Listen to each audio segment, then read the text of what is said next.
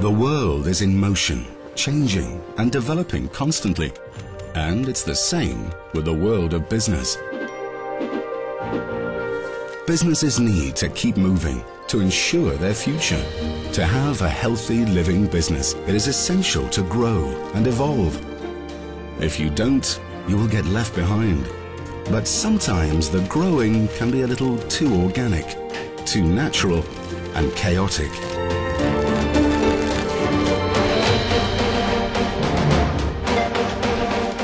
Looking at it this way, we are actually in the evolutionary business as we help companies become fitter, leaner, stronger and smarter.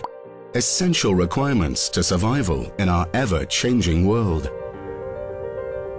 Whatever the world of business and documentation creates, let us sort it out.